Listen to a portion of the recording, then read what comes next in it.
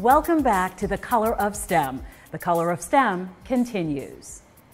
The Color of STEM traveled to Pittsburgh, Pennsylvania to attend the Intel International Science and Engineering Fair the world's largest international pre college science competition. More than 1,700 high school students from over 70 countries were in attendance. One of my friends suggested that I enter the science fair, and you know, I had no idea. Uh, I won first place in chemistry, and then I won the grand award, which sent me here completely free. You know, this is one of the first trips like away from home, so it's an amazing experience, but I definitely wasn't expecting it.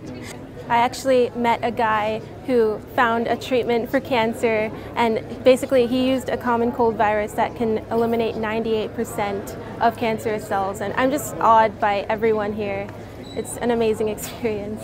Well, my project is based on the BP Deepwater Horizon oil spill, and I live in southern Louisiana, in New Orleans, and even though the oil spill happened 75 miles away, I was still waking up every morning and smelling this disgusting crude oil. And, you know, I knew it was doing something to me. I just I didn't know what. And so I was interested in you know, the reason as to why no EPA or bioremediation organization was too focused on identifying the toxins that are forming over time as photoproducts. Because what I was learning in chemistry was that photoproducts are a thing.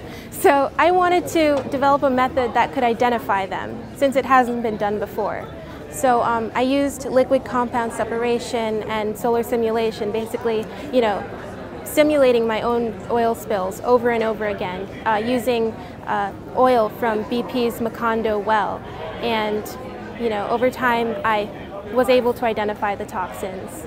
I moved to New Orleans um, in eighth grade from Miami, and I wanted to be a lawyer. I, my favorite subject was English, you know, but on a whim, I signed up for a four-year engineering course. And the engineering teacher was my biggest influence, and he's become my mentor. And you know, he's definitely guided me to the point where I can't imagine doing anything but science. I'm, I'm captain of the robotics team this year at my school, and I never thought I'd actually get there because when I first joined the robotics team, I was the only girl. And I was completely worried that, you know, my points wouldn't get across and people would just overlook, you know, what I was trying to say. But that wasn't the case at all. They actually liked that I was a girl trying to do engineering. And that's what I, you know, I want everyone to know that it's completely okay to pursue it. Keiana, congratulations. And we agree. Yes, it's okay. From Pittsburgh to the nation's capital, we caught up with one of our STEM stars at the USA Science and Engineering Festival.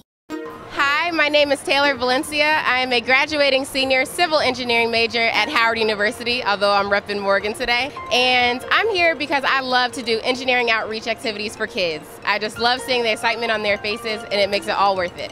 It's really important for minorities to get into science, engineering, math fields because of just the impact that they can have on society. Um, I have seen an increase just as a student at Howard. However, I'm always promoting it even further because I have been in places where I am the only.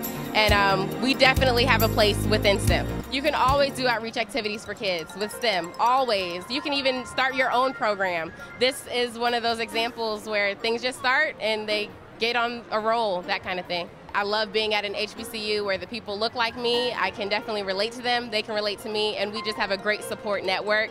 And it's been fabulous. I chose HU. Well, it really chose me. They decided to cover my tuition, and I said, that's where I'm going. And uh, it's been great. The best decision I've made.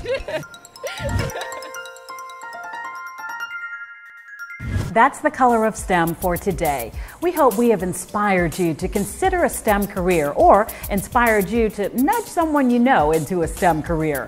Keep watching The Color of STEM, where we show you that STEM makes a difference, and so can you. See you next time and think about STEM.